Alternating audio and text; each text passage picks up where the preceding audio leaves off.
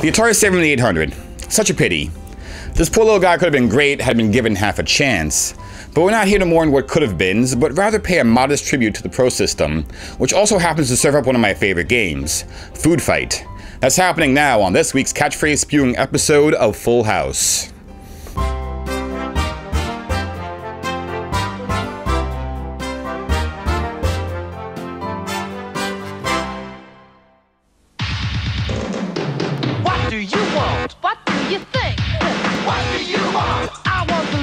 The games anywhere.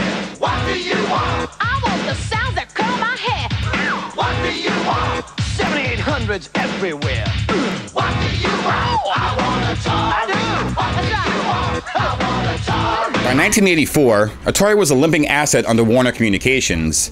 Besides the weak performance of the 5200 console and failed negotiations with Japan's Nintendo to distribute their family computer stateside, there was also that recent nasty industry-wide crash. The aftermath was not pretty. Stock prices plummeted, executives were sent packing, and it seems like the idea of a home game console was a passing fad. Keep in mind, people were still playing video games. Many were just doing it on home computers, with its capability for more complex types of games. Those who weren't were making do with old hardware, like the Atari 2600, especially now since older games were hitting clearance bins by the ton. When Atari announced the 7800 Pro system that May, it would seem they were quite interested in bringing together both types of customers with a single unit. On paper, the Atari 7800 seemed like a winner, especially since Atari had learned from its mistakes. The 5200's terrible analog controllers and lack of backwards compatibility with 2600 titles was the source of much derision from consumers and critics. The 7800 was designed to play virtually all 2600 titles without any additional hardware, and the digital self-centering joysticks, while still not perfect, were a vast improvement. The 7800 had an expansion port to accept a keyboard, disk drives, and printer if you wanted to turn the console into a home computer somewhere down the line. And for the hyper-competitive, a high-score cartridge was conceived so that the players can keep track of their numerical accomplishments. The most attractive feature of this package, however, was the price tag $140. Inexpensive for a new console at the time, and unbelievable considering the graphical capabilities of the 7800. Ports of arcade games that were often visually lacking back in the day were finally closer to authentic than ever before, even including those off jettisoned bells and whistles like intermissions.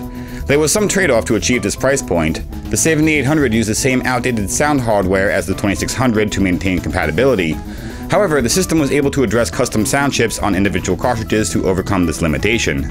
Hoping to reclaim the video game throne and quite possibly reinvigorate the home console market, Atari launched the 7800 in a few test cities in June of 1984. Behind the scenes, Warner Communications was making other plans.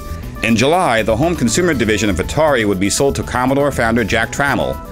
Further distribution and production was put on hold during his changeover, while deals were evaluated and renegotiated.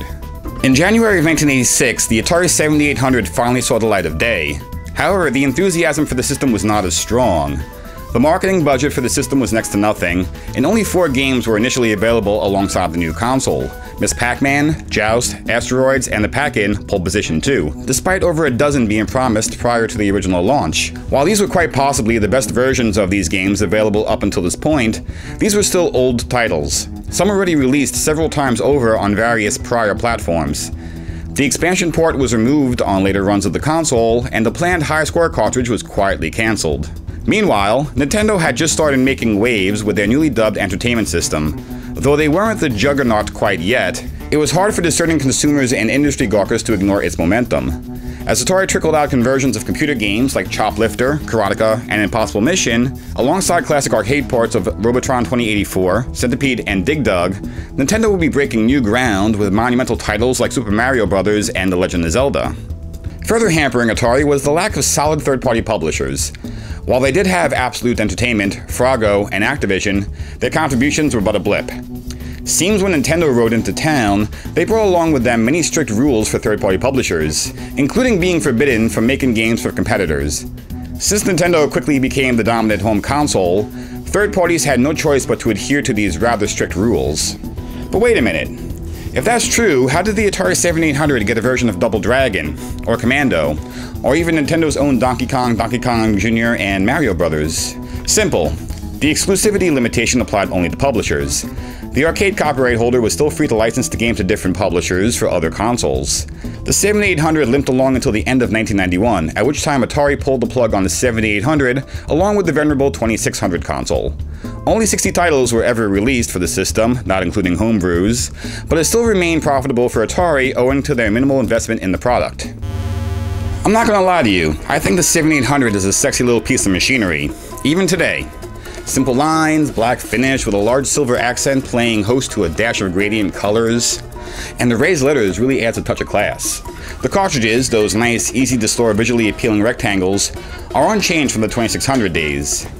I did always hate that these Atari consoles had no cover for the cartridge slot, especially as dust breeds in my room faster than bacteria on a gas station restroom toilet. The familiar difficulty switches are tucked away under the front lip. On the top, you have the essential power button, a dedicated pause button, and a select and a reset button which parrot their respective VCS switches. The pause button does replicate the old color black and white switch, but since it's not a toggle but rather returning to an original position after pressed, the game will not stay in black and white. Not that it matters, but there are some 2600 games that use this switch for other functions or options. And no, you can't pause the old games. Only those 7800 games that have this functionality programmed. The Proline joysticks look sleek and, as mentioned, are a marked improvement over the 5200 sloppy, non-centering analog controls. It's still painful to use for an extended period as the buttons have a fair amount of resistance to them, and the controller itself is scrawny.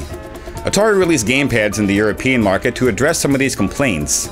Luckily, the controller parts were the long-time standard 9-pin type, meaning old Atari joysticks and peripherals will work on this as well, so long as you're playing a game that doesn't require two separate action buttons.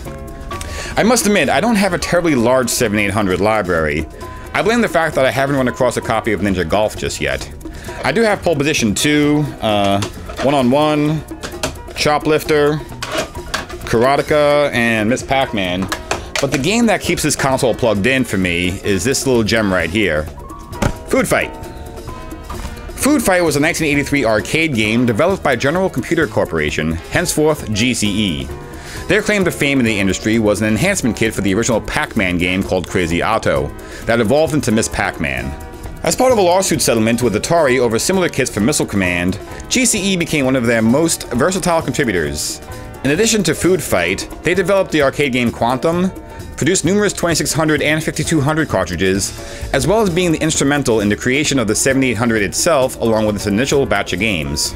Food Fight is simple but charmingly addictive. You play the role of Charlie Chuck, whose main goal is to eat the ice cream on the opposite side of the playfield. Standing between you and your tasty treats are four ornery chefs named Angelo, Zorba, Oscar, and Jacques. Using the piles of food as your ammunition, you must fight your way to the ice cream cone while avoiding any contact with these chefs or their edible projectiles. Falling into manholes or letting the ice cream melt will also end your turn early. The action gets faster and more intense as the levels progress, but the scoring potential increases as well. Play long enough and you'll have a score that will be sure to impress all of your ex-lovers. The home version impressively replicates the instant replay feature found in the arcade. If you cheat death or do something really awesome, the game will show you your performance with some whimsical music timed along to the final gulp of the ice cream cone.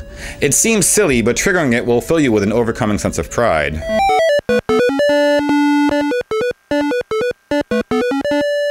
There's not much to say about Food Fight. It's definitely not the deepest game in the world, but it's quite entertaining. But even if Food Fight isn't your thing, there is sure to be something on Atari's overlooked piece of hardware that will justify finding one. The great thing is that most of the titles are quite inexpensive. You definitely can't go wrong with the arcade ports, but do avoid their literally impossible version of Impossible Mission. This was Dave for TV Games. As usual, please remember to like, comment, and subscribe unless otherwise directed by your doctor. And of course, I'll see you next time. It's Still hot in here. What do you want? I want do. What do you want? I want want? I want a Atari. I do. What do you want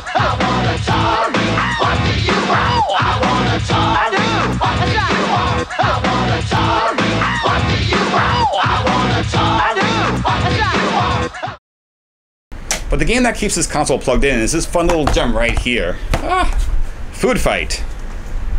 Is that better? Yeah, it's fine.